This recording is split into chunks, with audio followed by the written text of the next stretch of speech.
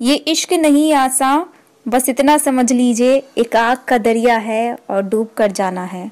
ऐसा ही एक मामला सामने आया है मुन्ना पांडे थाना क्षेत्र के गाँव का, जहाँ मुस्कान नाम की लड़की अपने प्रेमी से शादी के लिए जिद पर अड़ी थी, जिसकी जिद के सामने राहुल और उसके परिवार को झुकना ही पड़ा।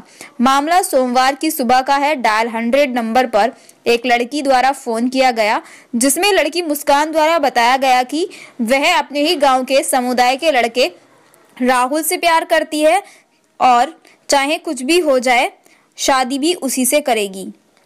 चाहे अंजाम जो भी है, और आज वह राहुल के घर पहुँच ही गई, लेकिन राहुल के परिजन उसको धमकी दे रहे थे। डायल हंड्रेड की टीम मौके पर पहुँची तो राहुल के घर पूरा मजमा लगा था। राहुल की प्रेमिका शादी की जिद पर अड़ी थी और राहुल का परिवार शादी से इनकार कर रहा था। मौके पर पहुँची पुलिस ने बढ़ते हंगामे के चलते डायल हंड्रेड की टीम ने थाना मुंडा पांडे को सूचना दी, जिस पर चौकी इंचार्ज करणपुर मौके पर पहुँचे और मुस्कान और राहुल के परिजनों को भी चौकी चलने की बात कही। इस दौरान क्षेत्र के कुछ बुद्धिजीवी वर्ग के लोग भी चौकी पहुँच गए और दोनों पक्षों को बिठाकर राहुल और मुस्कान की शादी पर सहमति तैयार कर दी जिसके बाद जो परिवार एक दूसरे पर हमलावर हो रहे थे दोनों ही गले गले मिल बैठे और दोनों परिवारों ने मुस्कान और राहुल की शादी पर रजामंदी दे दी जिसके बाद सम्मानजनक गाँव के लोगों की उपस्थिति में दोनों पक्षों के परिवार के सदस्य शादी के लिए राज़ी हो गए।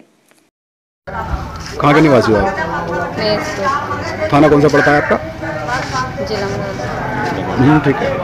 चलो अच्छा ये जो लड़का है इससे शादी करना चाहते हो आप? हाँ। किसी के दबाव में है ऐसी? आपके परिवार वाले?